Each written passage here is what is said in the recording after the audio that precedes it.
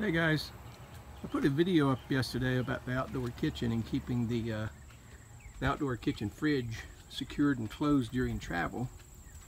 And uh, the video I put up showed how I took an old medicine cabinet, the ones with the mirrors, uh, push in on this a little bit, excuse me, and then that will keep the door closed. Well, someone asked, well, can you keep the door open?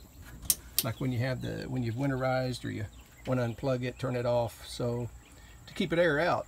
Well, where I positioned it, no. It would open it, leave it open too much.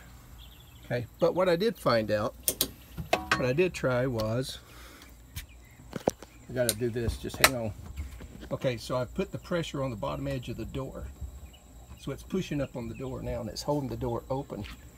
And so if I come over here and look, I can see that it's going to clear when it closes and that would leave it open a little bit, just, just acting like a little break.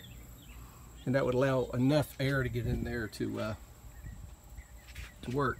Okay, so pardon me, I gotta close this thing. Okay, so now the door is closed, as you can see. Okay, pardon the cement view or whatever you're seeing now. If I open it back up, we still have a little gap. Okay, so so that's what that's all about. Hope that helps.